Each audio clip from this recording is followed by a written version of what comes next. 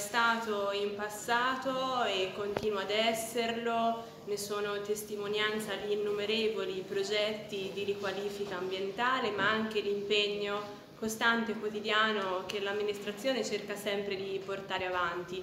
Mm, infatti questo evento che si terrà il 21 novembre a Caviglia eh, rappresenta questo. L'amministrazione ha accolto con grandissimo favore l'invito dell'associazione Plastic Free, in particolare del referente della nostra area aretina, Valdarnese, eh, Roberto Russo, di patrocinare eh, questa iniziativa. Si tratta di un'iniziativa di raccolta rifiuti stradale e eh, assume diciamo, una doppia valenza. Da un lato l'intenzione è quella di sensibilizzare la cittadinanza facendo vedere che eh, i cittadini si preoccupano in prima persona della rimozione dei rifiuti. E dall'altro lato direi che ha anche una finalità concreta perché in effetti eh, tutta quella sporcizia che viene incivilmente depositata sulle banchine sarà rimossa in ingenti quantità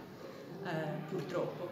Si tratta quindi eh, di un evento importante, eh, di un evento che si terrà ehm, lungo la via Chiantigiana, luogo ricchissimo di vegetazione che merita una valorizzazione. Lì vi sono grandi boschi che meritano rispetto e senz'altro non devono essere trattati in questa maniera.